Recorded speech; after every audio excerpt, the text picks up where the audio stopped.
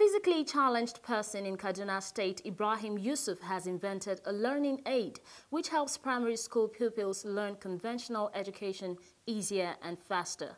The inventor of this learning aid said he did it to help solve the problem of learning which the physically challenged face, especially primary school pupils, and the invention cost him over a million naira.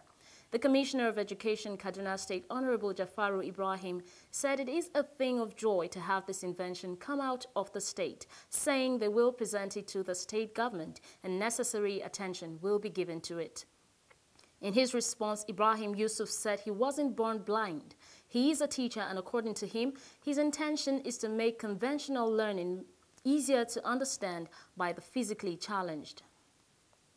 Very happy with this uh, innovation. It's really wonderful, and uh, we are proud that Ibrahim is among the newly recruited uh, teachers in SUBEB.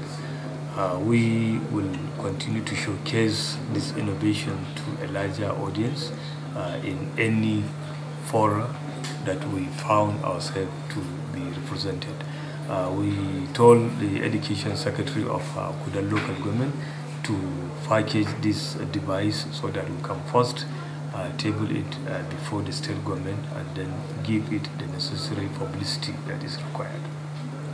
I mean, because, well, in our life we have destiny. If destiny comes into a way, you cannot change destiny to another way.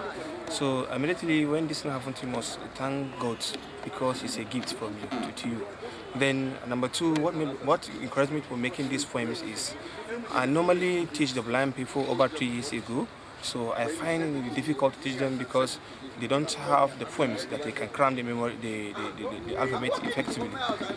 In our live activity, you may find the other normal children have their poems, that is letter A to Z, and other things. So why the blind people left behind, they have no thing like this that can make the, them to become comfortable. Then I decided to find this uh, poem and I even go to Google and I Google there's nothing like Braille poem.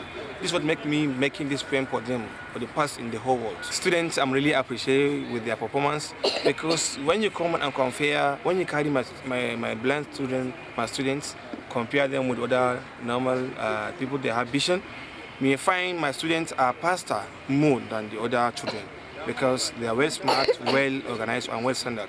They love me and I love them and I play with them, do this and they, uh, with them where they learn more because they have uh, uh, motivation by me or by their parents and the other agencies. That is.